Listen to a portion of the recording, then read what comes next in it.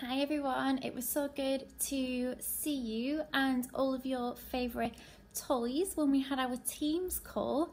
I have brought one of my favourite things today. So I really love reading and lots of you in our call said you really love animals.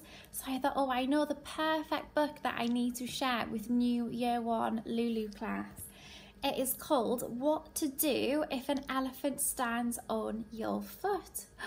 What would you do if a huge elephant stood on your foot? Here we can see the gigantic elephant. If an elephant stands on your foot, keep calm. Panicking will only startle it. Yow! Never mind. These things happen. In the event of startling an elephant, you will probably feel like running away rather quickly. Ah! Once a tiger has spotted you, you must stay silent.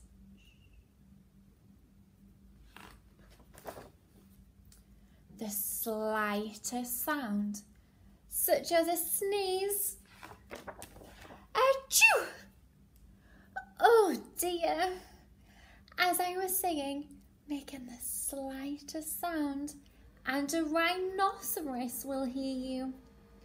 If a rhinoceros has heard you, whatever do you do? Do not be tempted to climb a tree. Oh, for goodness sake, go ahead then, if you must, but don't say I didn't warn you.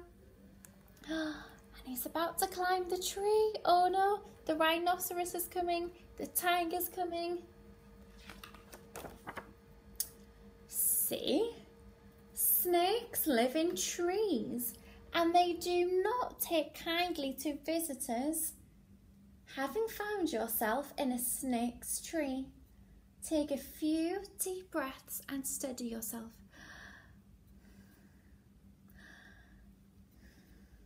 Okay, we should feel calmer now. That's it. Now sit tight and try not to make any sudden movements. Super still. Like that one, you ninny.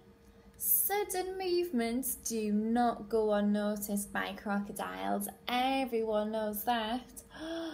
And look at the crocodile. He's watching him and he's licking his lips the elephant's still coming, the tiger's still coming, the rhinoceros is still coming, the snake's there. Oh my goodness. Honestly, you're hopeless.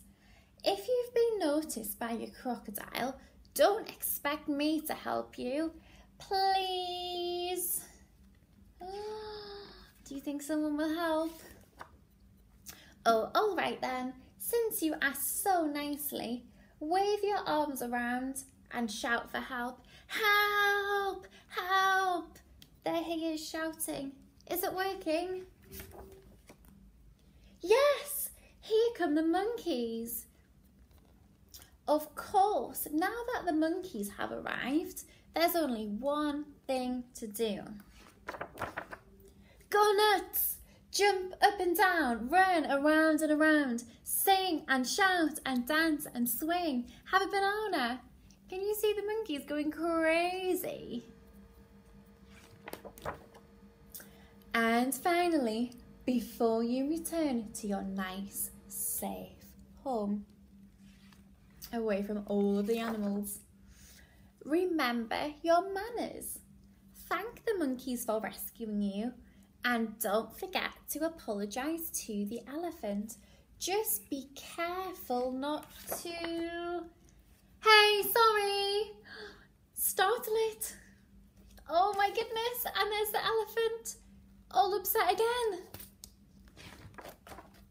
I hope you all enjoyed my favourite animal book and I look forward to sharing lots more books together in year one. Have a lovely day. Bye.